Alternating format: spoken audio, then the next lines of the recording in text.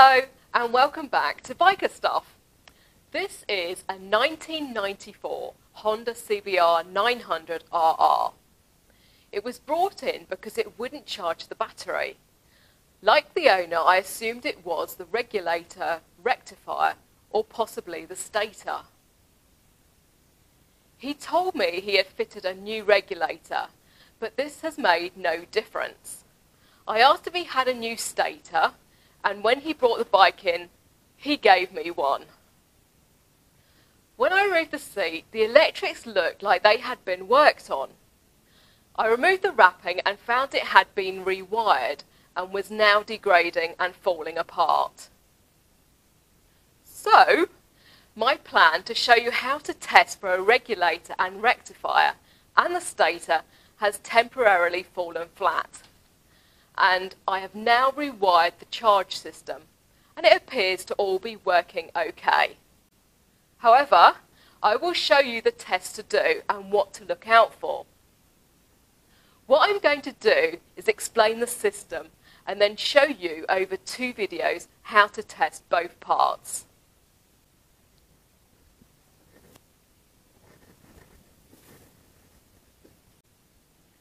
This is how the charge system works on motorbikes generally, and specifically on the CBR.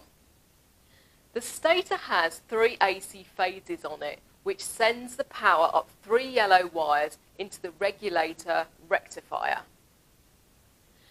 The rectifier then takes the AC charge, converts it to DC, and passes it to the regulator.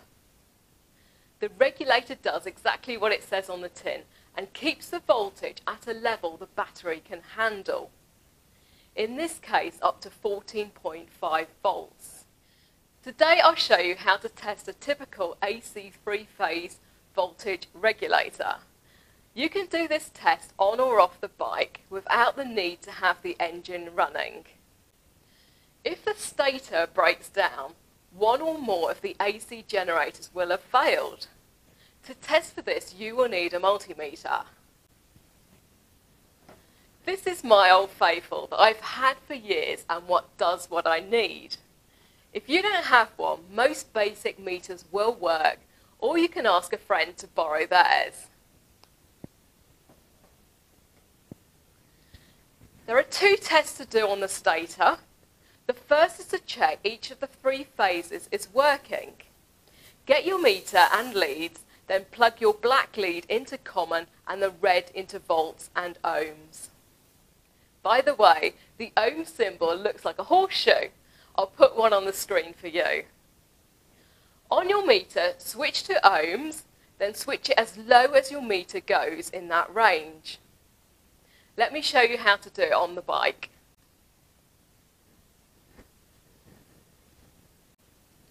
Unplug the stator from the loom. I don't think this one is in the right place, as I've seen it plugged in under the tank on other Hondas. If yours isn't here, check under the tank. But this test works the same for any three-phase stator, wherever it's plugged in. Your plug will have three yellow wires going into it. Mentally number the three wires, one, two, and three. You need to do this test across pins one and two, pins 1 and 3 and pins 2 and 3.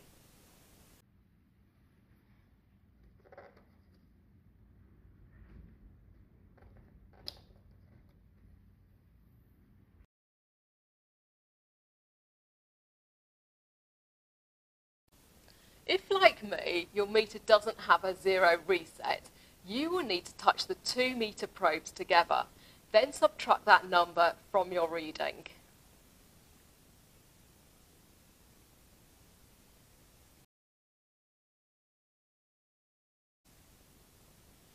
0.4. Put one probe into pin 1, either black or red, it doesn't matter, and the other onto pin 2.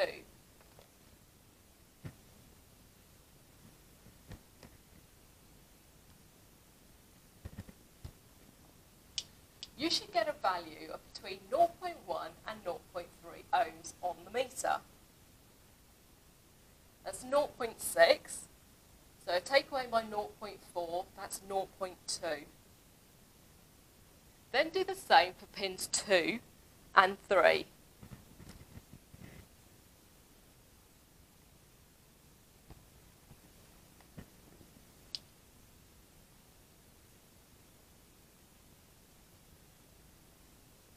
Naught point six, take away my 0.4, 0.2.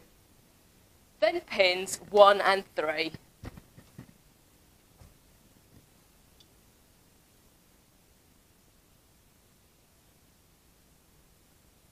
Naught point six. Take away my 0.4, and that's 0.2 as well.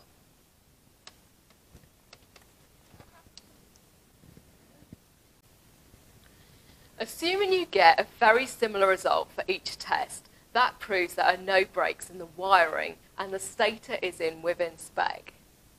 But if you get a reading of anything between 0.3 and 1, you need a new stator. If you're doing this on another bike, check your workshop manual to find out what the correct range should be. Next, we need to test to see if any of the phases are grounding. Find a good earth. If you haven't unbolted the battery, use the negative terminal on that. I'm going to change the contact on my meter to make this easier for me while demonstrating.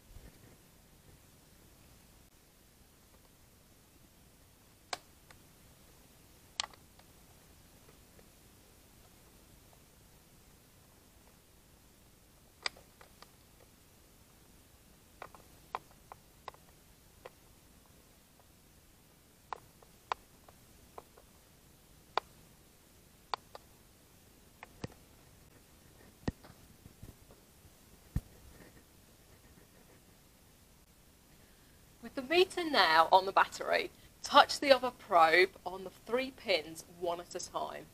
In every case, you should get a value of 1, or however your meter shows an open circuit.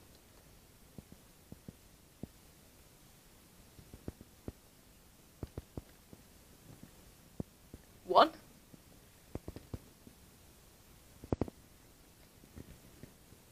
One.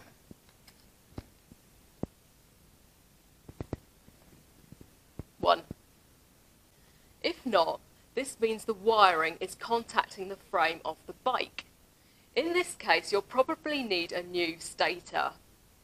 If you get the same results as I have, your stator is working correctly and the wiring is intact. The next test will be on the regulator rectifier, so please come back for that in my next video. Thank you for watching. You know you liked it, so tell your friends to like and subscribe. Don't forget to click on the bell to get notifications when there is more from Biker Stuff.